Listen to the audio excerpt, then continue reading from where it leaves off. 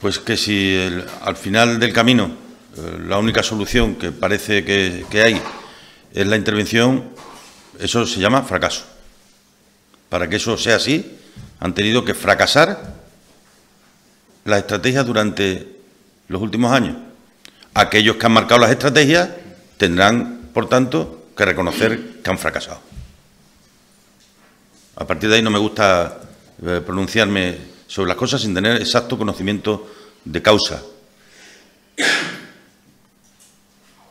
Pero si es verdad que ahora al final del camino la única salida es esa, es un rotundo fracaso de aquellos que tuvieron en sus manos que el final del camino hubiera podido ser otro.